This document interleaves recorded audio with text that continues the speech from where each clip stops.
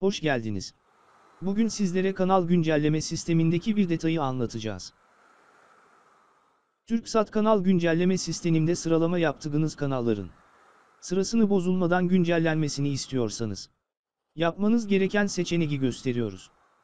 Burada çalışma modunu esnek olarak seçerseniz yapmış olduğunuz kanal sıralaması bozulmadan uydu alıcısı kanal listesini güncelleyecektir.